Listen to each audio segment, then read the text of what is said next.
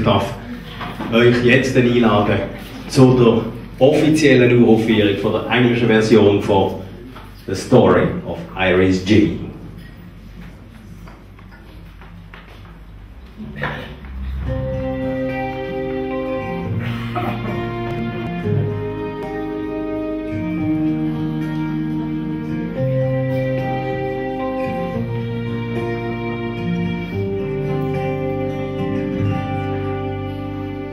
Here she is, this little girl by the name of Iris G. She's under the table with the book over her face, pretending that she was reading, she just used it to hide. All around her seems no way way to escape from your side. She don't wanna be a shadow anymore. She don't wanna be the girl behind the door. She don't wanna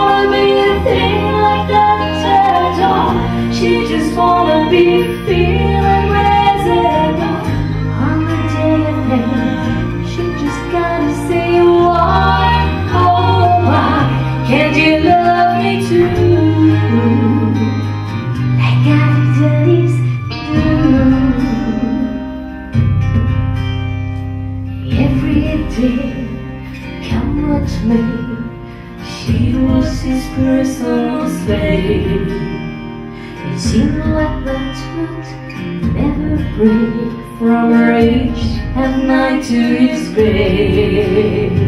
Mama, she just looked away. She couldn't leave, she preferred to stay. Cause his eyes were all around, all around every day.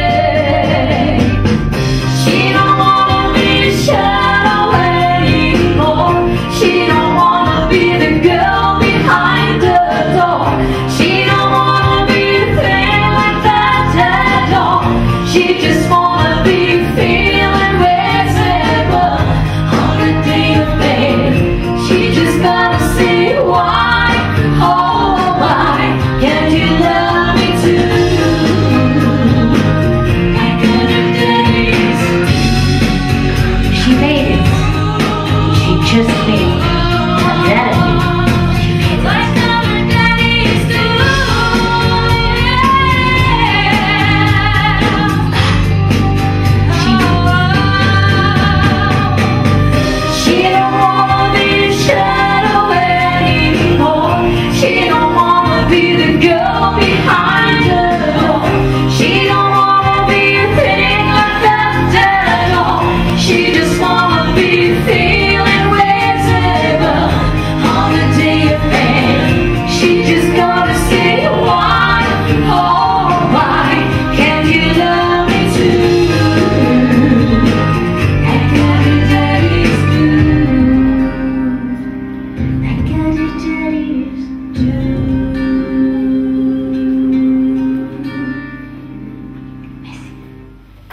Dankeschön, Barbara West und Anja.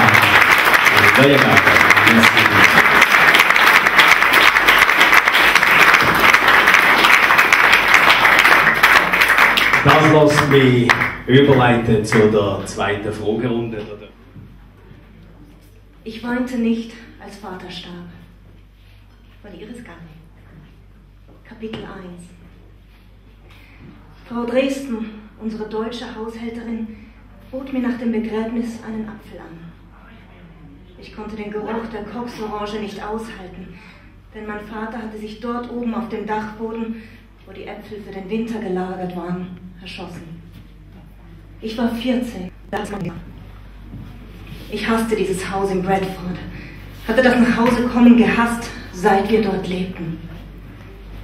Ich blickte mich im Spülraum um, der neben der Küche lag, und sah Frau Dresden verbissen Eiercreme in einer Schüssel schlagen. Ihre fleischigen Arme bebten im Rhythmus ihrer Bewegungen. Wenn es Krisen gab, machte sie immer Pudding. als ich die samtige gelbe Creme schlürfte und zu dem neuen Herd aus rotem Backstein hinübersah, vermisste ich die schwarz polierte Yorkshire Kaminsohle, die herausgerissen worden war. Das einzige Überbleibsel aus alten Zeiten war der Kleiderhalter an einem Flaschenzug, der mit der feuchten, vergessenen Wäsche unter der Decke hing. Widerwillig betrachtete ich die Unterhosen meines Vaters und jene riesigen unserer Haushälterin. Mich schauderte und ein eiskalter Schweißtropfen rollte mir den Rücken hinunter. Er wird diese Unterhosen nicht mehr brauchen, dachte ich. Ich war froh und fühlte kein Bedauern. Ich fragte mich, wo Mama ist. Erinnerungen stiegen hoch. Jeden Abend, wenn Vater mit seinem Triumph Dolomite die Auffahrt hochfuhr, hatte ich Angst. Ich beobachtete ihn durch das Seitenfenster. Kleinlich untersuchte er sein Auto nach den winzigsten Schmutzflecken auf dem blauen Lack. Dann hinkte er mit seiner arthritischen Hüfte durch die Hintertür. Ich hörte, wie er von Dresden anschrie und zurechtwies. Jeden Abend ließ er mich warten, weil er die Schuhe, die ich zu putzen hatte, inspizieren wollte. Manchmal schlug er mit einem Schuh auf meinen Kopf, ein andermal stieß er ihn in meinen Bauch. Ich habe ihr beigebracht zu kochen, doch nie macht sie es so, wie ich es ihr gezeigt habe. Und du bist auch ein Schwachkopf. Wieso bist du zu blöde, ein paar Schuhe zu putzen, so wie ich es dir gezeigt habe? Was für ein Versager ist mein Kind. Wieso bin ich dazu verdammt, so eine Sammlung von dummen Weibsbildern um mich zu haben? Er rief immer vom Gang her, du bist ganz alleine für deine Fehler verantwortlich. Darum musst du Disziplin lernen und entsprechend erzogen werden. Selbst wenn ich Beulen auf meiner Stirn hatte, wagte es niemand, seine Autorität in Frage zu stellen. Er hat es weit gebracht. Als Direktor eines bekannten schweizerischen Chemieunternehmens war er sehr respektiert und gefürchtet. Er hatte uns alle von unserer Minderwertigkeit überzeugt.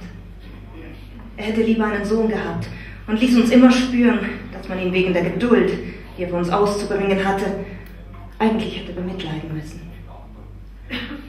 Und jede Nacht hatte es noch Schlimmeres gegeben. Viel Schlimmeres. Ich konnte jetzt kaum noch atmen, wenn ich nur daran dachte. Heute Nacht nicht. Keine Nacht mehr, sagte ich laut, während ich fingerschleckend die Cremeschüssel leerte und meine schmutzigen Schuhe zur Seite stieß. Wurzbart? fragte die Haushälterin. Nichts, Frau Dresden. Meine Gedanken kehrten zu dem Begräbnis zurück. Ich hatte mich sehr bemüht zu weinen, doch die Tränen wollten nicht kommen. Wir alle standen vor der Kapelle auf dem Friedhof. Mutter wies mich darauf hin, dass der Gürtel an meinem dunkelblauen Trauerkleid verdreht war. Ich hatte schon zur Schule angezogen und war das einzige Mädchen ohne Uniform gewesen. Heute war die Schule aus für mich. Ich erinnerte mich, wie sehr ich gehofft hatte, dass meine hinter dem Rücken gefalteten Hände mir das Gefühl und den Anschein von mehr Traurigkeit geben würden, als ich tatsächlich empfand. Ich betrat die Kapelle froh, den vielen Reihen von Gräbern zu entrinnen. Skelette da unten, verwesendes Fleisch, grinsende Zähne, die Zahnärzte einst mit Goldfüllungen versehen hatten. All diese Nerven jetzt tot. Ich setzte mich in die vorderste Bankreihe und war mir sicher, Gott könne mich durchschauen. Anstatt mich zu grämen, dachte ich nur Schlechtes. Ich bemerkte Freunde und Männer aus der Firma meines Vaters. Diejenigen, die ich sah, weinten nicht. Niemand außer Mama weinte. Der Kranz der Firma war der größte, ganz in grün, weiß und gold. Blumen, die nach dem Winter auf ihrem Weg ans Licht die harte Erde durchstoßen hatten, um schließlich auf einem Sarg zu landen. Jetzt, daheim im Spülraum, fragte ich mich, ob ich mich anders hätte verhalten sollen, um den Erwartungen meiner Mutter unter anderem zu entsprechen. Ich konnte es nicht, dachte ich. Ich konnte es nicht, weil alles, was ich empfand, unglaubliche Erleichterung war. Die Erleichterung war jetzt so groß, dass ich zu weinen anfing. Danke für den Pudding, rief ich und versetzte den Wandtäfel um Tritte, während ich den dunklen Korridor entlang ging. Hör auf damit und sieh deine Socken hoch, brüllte Frau Dresden. Ich lief am Wohnzimmer vorbei und war überrascht, dass kein Feuer im Kamin brannte. Jeden Abend nach der Schuhputzprozedur war Vater mit einem Krug Guinness-Bier am Feuer gesessen. Er stocherte so lange mit dem Schürhaken in der rotglühenden Kohle herum, bis auch dieser durchscheinend rot glühte, worauf er ihn schnell in die dunkle Flüssigkeit tauchte und umrührte. Ich sah, wie der Schaum hochschoss und überlief. Seine Lippen wurden ganz weiß, wenn er den Schaum abschlürfte. Einmal, als ich mich besonders mutig fühlte, hatte ich ihn gefragt, Papa, denn ich durfte ihn nicht Vater nennen, warum kannst du mich nicht einfach lieb haben? Weißt du, so wie andere Papas. Nicht mit, mit dem einfach lieb haben. Mit spöttischem Blick sah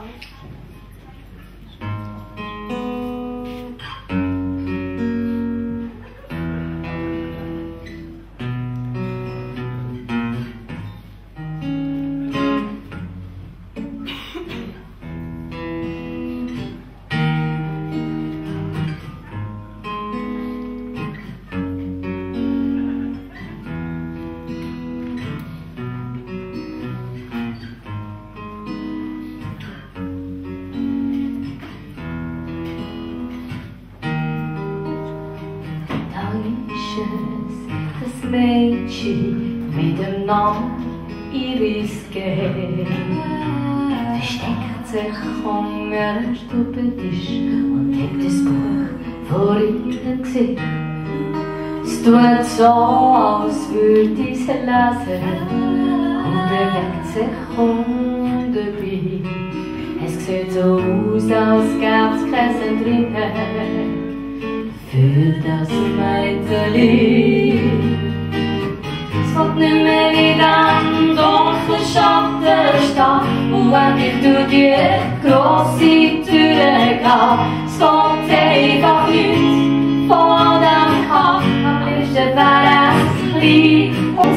Ska ha Han blir i dagen i riktig da ist wienerisch, an anderen Tieren gefangen fest. Mit Müni hat es alles angefangen. Es glaubt, es würde ich nie ein Handy haben. Was Mami das schaut, einfach weg. So was das alles gar nicht geht. Was sie ist nur so eine Schafffigur in dem Spiel von Angst